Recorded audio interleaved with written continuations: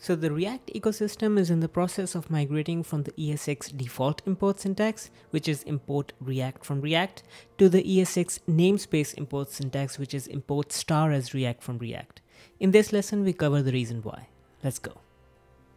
In previous lessons, we've looked at the ES module interop compiler option, which makes the namespace import of an ES module the same as the default import of an ES module.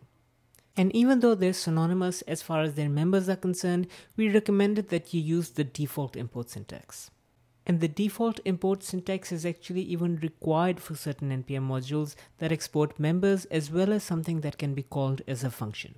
So React as it stands today as a common JS module if you were to do the default import as you've been doing till now, or do the namespace import as what is recommended going forward, they would have the same members. That is fundamentally the create element call that a JSX transforms into will be the same.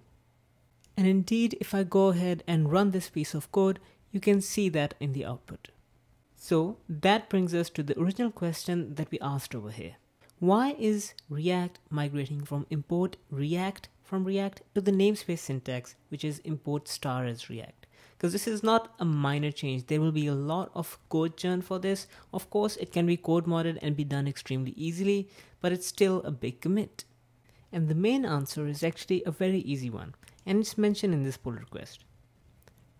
React no longer wishes to be treated as a CommonJS module, but instead wants to behave like an ES module.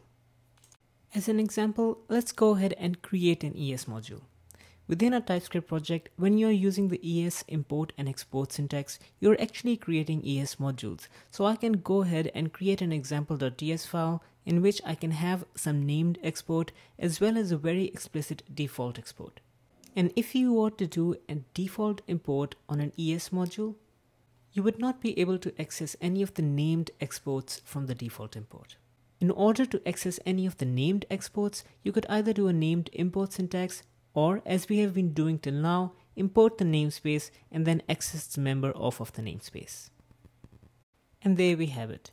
If React starts acting like an ES module instead of a CommonJS module, then you will not be able to access functions like create element off of the default export, and therefore, in order to use React properly and use the JSX transform, you would need to use the namespace export. Just like any other ES module that you might create within your project. As always, thank you for watching and smashing that like and subscribe. If you enjoyed this video, share it with your friends. Till next time, take care